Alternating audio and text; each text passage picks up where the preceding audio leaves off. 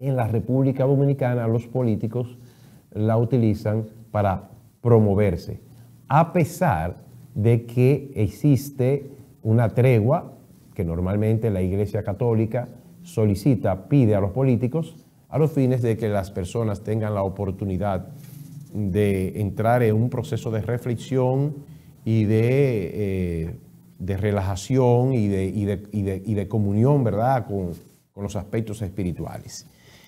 Eh, dada la situación de que el país eh, no, se no se desconecta del quehacer político, pues justamente en estos días el grupo RSC Media, eh, en un acuerdo, ¿verdad? o en, en, una articulación con Gallup Dominicana, pues ya habían anunciado que para estos días iban a dar a conocer eh, los detalles de la primera entrega.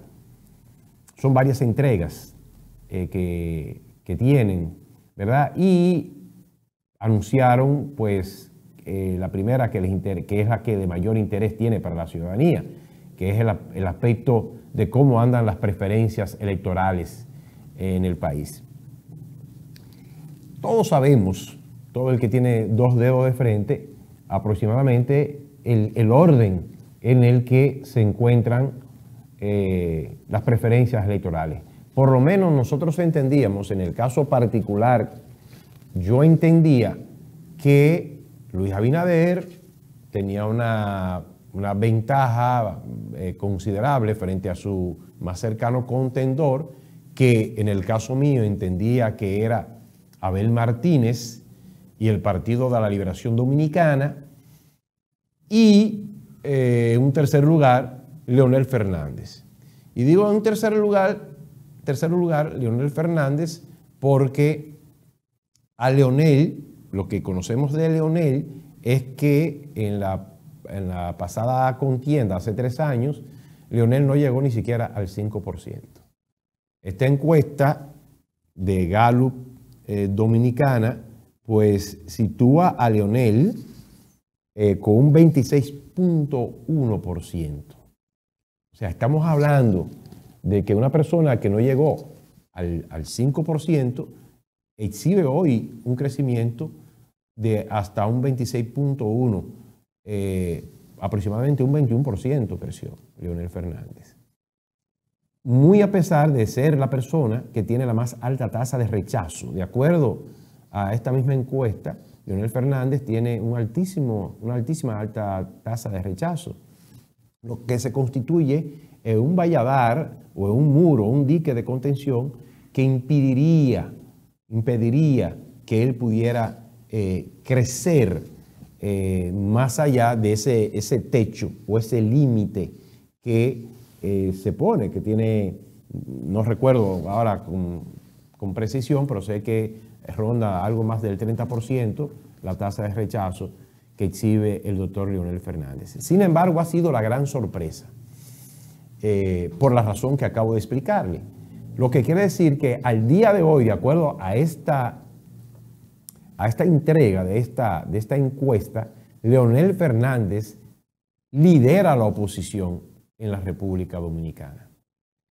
Y eh, deja muy mal parado al Partido de la Liberación Dominicana, el cual había estado en un proceso de reestructuración o de renovación de, de sus estructuras internas de dirección, incluyendo comité político, comité central, eh, los comités provinciales, los municipales, eh, los comités intermedios, los comités de base de esa organización, eh, lo que de acuerdo a sus directivos, a sus dirigentes, eso le permitía conjuntamente con la selección eh, de manera temprana en el tiempo de un candidato joven, eh, ganador, invicto en, todos eh, los procesos que se ha sometido y que no ha estado en funciones públicas designadas mediante un decreto y que viene con una hoja de servicio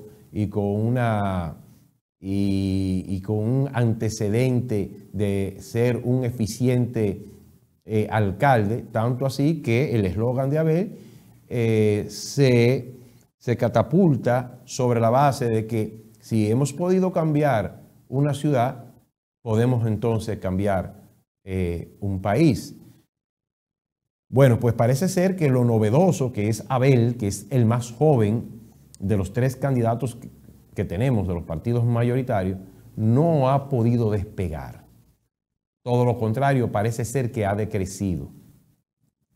Hay que tener en consideración que el Partido de la Liberación Dominicana, a pesar de haberse sometido a este proceso interno de reestructuración y de modernización de sus estructuras, eh, el hecho de que figuras importantes del comité político y funcionarios de la pasada administración de Danilo Medina hayan estado siendo eh, procesados, eh, imputados de diversos eh, delitos, de la comisión de diferentes delitos, cuando estuvieron al frente de la administración del Estado, eso ha hecho que de alguna manera corroa la credibilidad y la confianza de gran parte del electorado en ese colectivo político.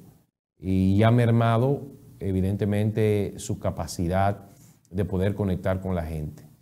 Eh, a la gente se le ha consultado también a través de esta encuesta sobre el trabajo del Ministerio Público y la gente le da eh, un, eh, mucho crédito.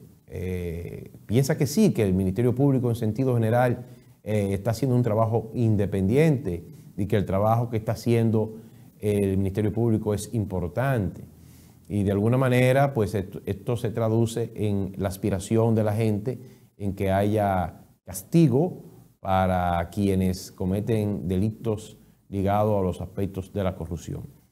Eh, sí me llama a mí la atención, que es una de las contradicciones que yo entiendo que tiene esta, esta encuesta, a pesar de que no la desacredito, porque siempre he dicho que esta es una, encuestadora seria, responsable y que en la mayoría de los casos ha acertado en la República Dominicana, a excepción del 2012, cuando Hipólito le llevaba 18 o 20 puntos a Danilo Medina, tenía como un 50 o un 52%, Danilo Medina tenía un 32%, y, sin embargo resultó el ganador Danilo Medina en, una primera vuelta.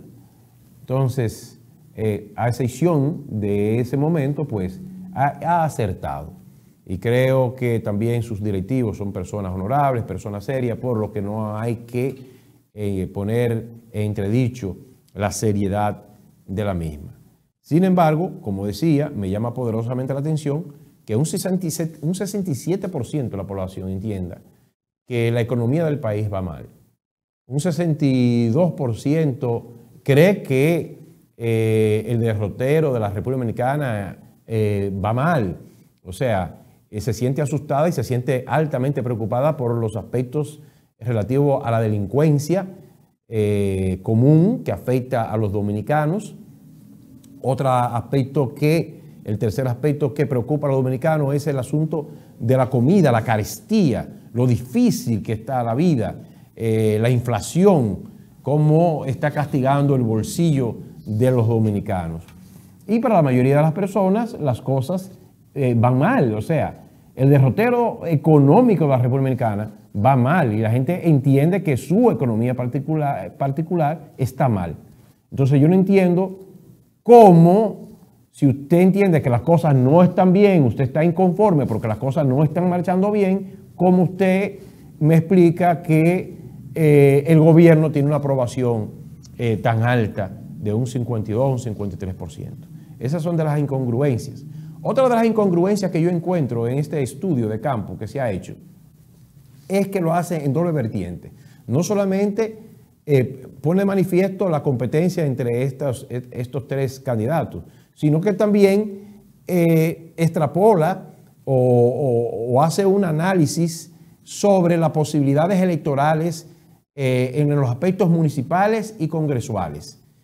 Y establece que el 60% de las alcaldías y de las curules eh, serían ganadas por el Partido Revolucionario Moderno.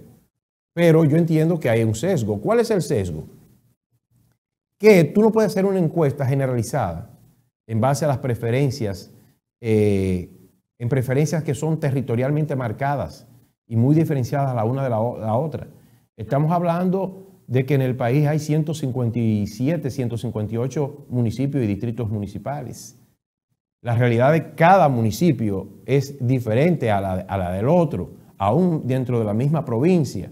Pero sobre todo, no tenemos todavía eh, candidatos definidos en los aspectos municipales y en los aspectos congresuales.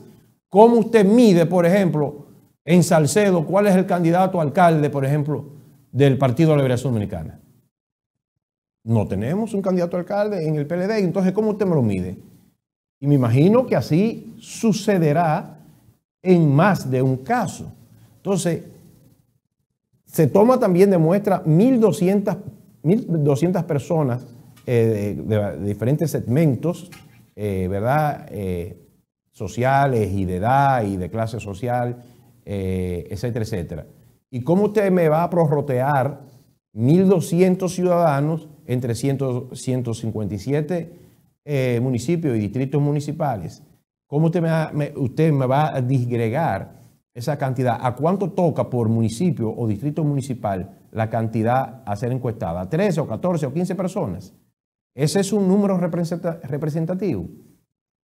Sea, estas son interrogantes que no necesariamente están dirigidas a desdecir o restarle credibilidad a la resiedumbre del buen nombre ganado por Galo.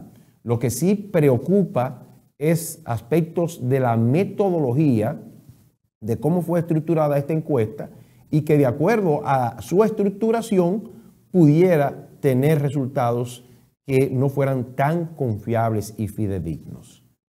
De todas maneras, nosotros decimos lo que se acostumbra a decir, las encuestas son una herramienta de trabajo, no son una especie de oráculo, no es una premonición que dice que las cosas tienen que ser exactamente como está establecido, sino que son indicadores, eh, son eh, elementos que te, te dicen por dónde puede ir las cosas y para los diferentes partidos políticos debe de servir de herramienta para que aprieten donde tienen que apretar, flojar donde tienen que flojar, cambiar las, estrategias donde tienen que cambiarlas.